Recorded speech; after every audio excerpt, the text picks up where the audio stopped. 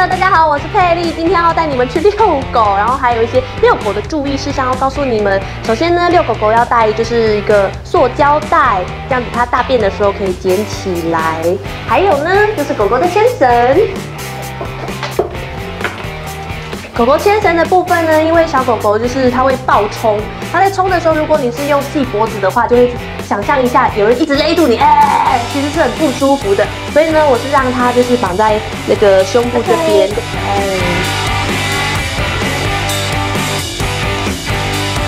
这样子呢，就是它往前冲，也是就是这边会勒紧而已。然后呢，还要很注意的是，我们一定要帮它别上就是有打狂犬病预防注射的这个徽章。准备好，我们要出门喽！！Action go！哎，等等啦，一起来，等等，坐下，坐下，等等，等等，Goodbye，好开心啊！这什么笑笑的脸 嘿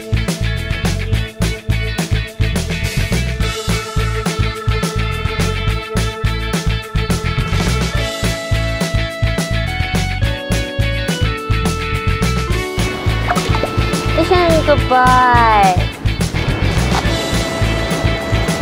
哎，选扁扁了，我们要把扁扁捡起来，这样才不会害别人踩到。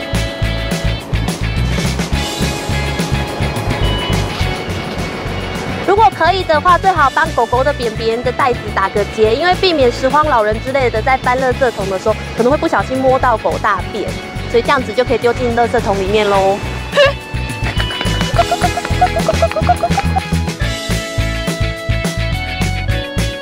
像现在夏天气候都比较热，尽量呢就是利用早晚的时候来遛狗就好了。不然你看，像狗狗都没有穿鞋子，它踩在那个柏油路上或者是这些石地板，其实是很烫的。而且呢，你可以观察狗狗，如果说它舌头一直吐出来，它在散热，就代表它真的很热。还有呢，像是如果你的狗狗是长毛的话，记得如果可以夏天尽量让它短一点点，它会比较清爽，它就会比较愿意去散步了。不然它累了就像这样坐着。A，你累了吗？像我们平常呢，A 璇会出来两次，每天早晚，然后带它出来上厕所，顺便让它看看这个环境，然后去占领一下它的地盘，它就会很开心了。牵绳的部分我们试过好几种，最后我们是选这一种，就是它可以自由伸缩的，这样子它可以跑进草丛里面，我们人也不用进去，而且它还可以锁定就是长度，其实还蛮方便使用的。有没有发现，其实不管是公狗或者是母狗，它们尿尿都不会一次就尿完，它一定会一滴一滴一滴的慢慢尿，因为它们这是它们占地盘的一种社交的表现。所以呢，我们主人呢就是有耐心的陪它慢慢走，也当做是我们沉淀心情的一个散步的感觉，让我们一起放松心情的陪着它，这样子心情就会愉快很多。哎，乖宝宝。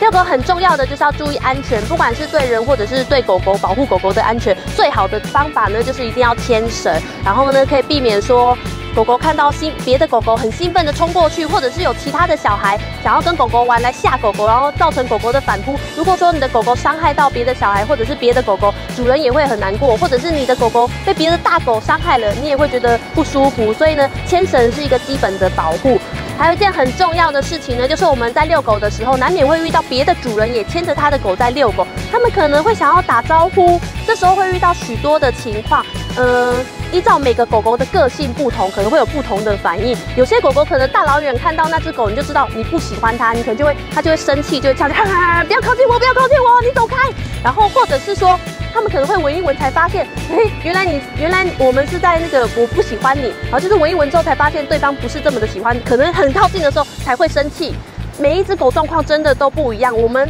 人也不需要去强迫我们的狗狗要去喜欢每一只狗狗，就像我们人一样，有时候走在街上，你可能会遇到一个胖子流浪汉，全身脏兮兮，嚼着槟榔，呀呀呀，在那边走路，你大老远看到你就不喜欢了，你就会闪啊。然后有时候我会看到 Asian，哎，奇怪，对方的狗狗好像长得还蛮可爱的，然后就跑跑跑跑向 Asian，可是 Asian 对人家凶，我就觉得哎，怎么会这样？可是你如果用人的立场去想的话，你今天看到的这一只狗狗，它好像很高兴的冲过来，但是是这样吗？其实只有狗狗才会懂狗狗之间的情绪、言语、肢体语言，所以搞不好对方的狗很开心的跑过来，其实是安乐安乐，哈哈哈，这之类的，你就觉得搞不好是这样，所以我们真的一定要随时随地都在注意你的狗狗的情绪反应。如果说当它有不开心的情况，你就赶快带它离开现场，不要跟别的狗狗就是有机会发生肢体的冲突，这是一件非常重要的事情，保护它的安全是很重要的哦。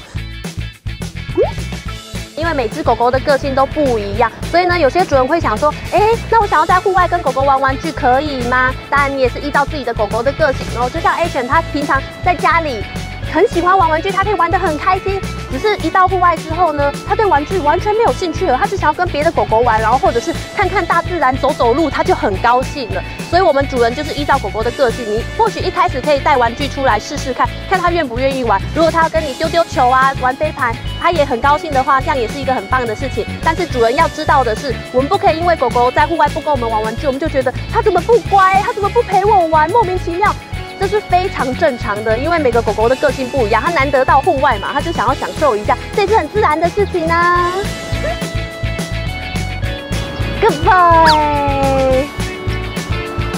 好啦，散步的差不多了，佩丽我要带 A 犬回家喽。回家之后呢，有第一件事一定要做，非常重要，就是我们一定要好好的检查一下狗狗的全身，看它的脚有没有不小心踩到什么受伤，或者是被虫虫咬，或者是跟其他的狗狗打招呼的时候不小心有受伤了。我们越早发现，其实是越好的，可以避免伤口的感染。有一次 A 犬就是脚可能不小心踩到一个。口香糖，然后他走路就开始歪歪的，我就担心说，哎，他是怎么了？他的脚受伤了吗？然后检查到脚底才发现，啊，原来是口香糖。你把口香糖拔掉之后，他又开心的蹦蹦跳了。所以检查它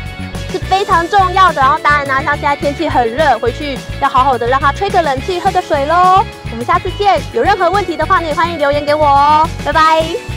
一先拜拜，嘿，Goodbye。